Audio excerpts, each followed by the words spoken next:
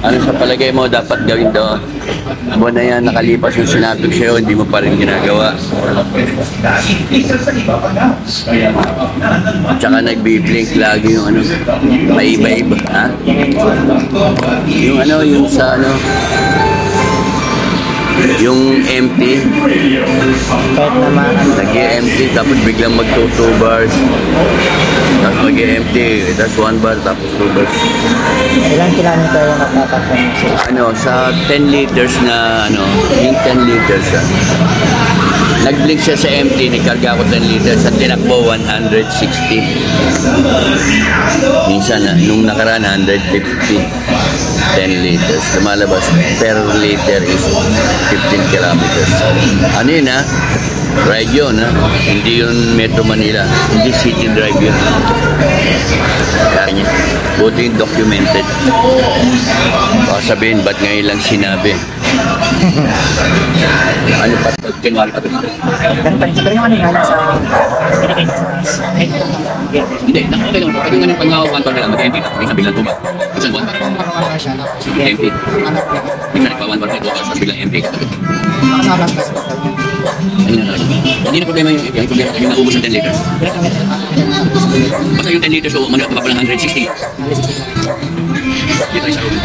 Siyempre, pinakamaganda na dito. Alam natin, baka may problema lang. Pero I mean na maayos yung problema. I still trust Gucci, number one. Mga panahon.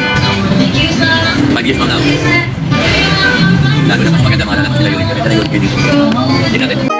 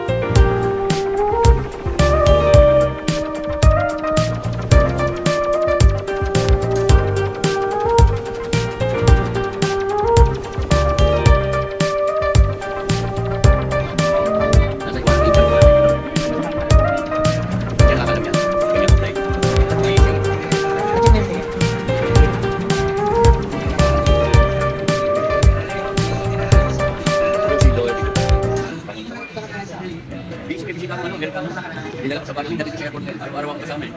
Na. Hindi naman pumapasok eh. Mag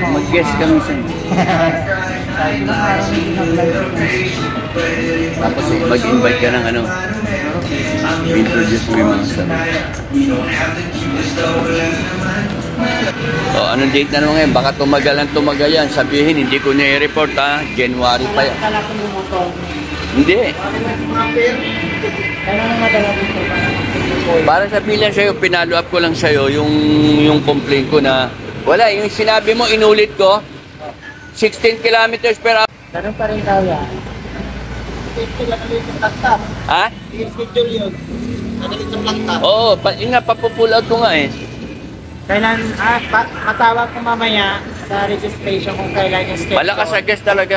Kung kailan yung schedule ng klase Oo. para madala sa ano, tawagan ko. Pangatlong trial ko yun, nagkarga na naman ako ngayon.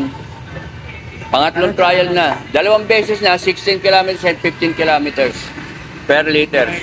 So ito ngayon, Sulat, sulat mo lang yun, sinulat ka. ha? Tuloy na ako. Tawagan kita kung kailan yung schedule para madala ko dito. Oo. Yung, Sige, sige. Bye-bye.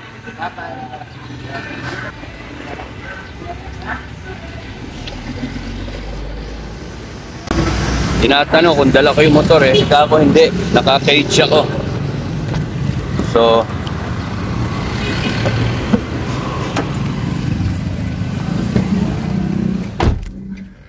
pangatlong pangatlong best plane, sabi, schedule for pull out dalhin sa planta. Pero, wala naman kumakausap sa akin. So, this will be the third time na pinarating ko yung issue. So, tingnan natin. Eh, according dun sa ano, ano eh, 30 kilometers per liter ang kain nito. So, syempre, pag city drive, okay lang na mag, ano yan, mag 25.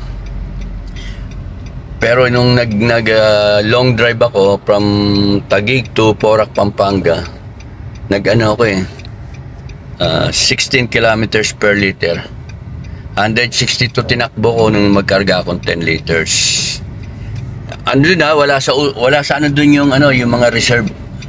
Basta pagdating sa reserve, nag-blink siya, nag-warning siya, karga ako 10 liters. Tapos nung tumakbo akong 160 kilometers, nag-blink uli siya sa reserve. So, doon ko binilang. So, yun yung na-consume niya 10 liters, 162. So, ganun lang namang ano, pagbase nun, di ba? Imposible namang mali yun. Dalawang beses eh. Una sa Pakil Laguna, 15 kilometers per liter, 150 kilometers, 10 liters. Tapos yung pangalawa sa Port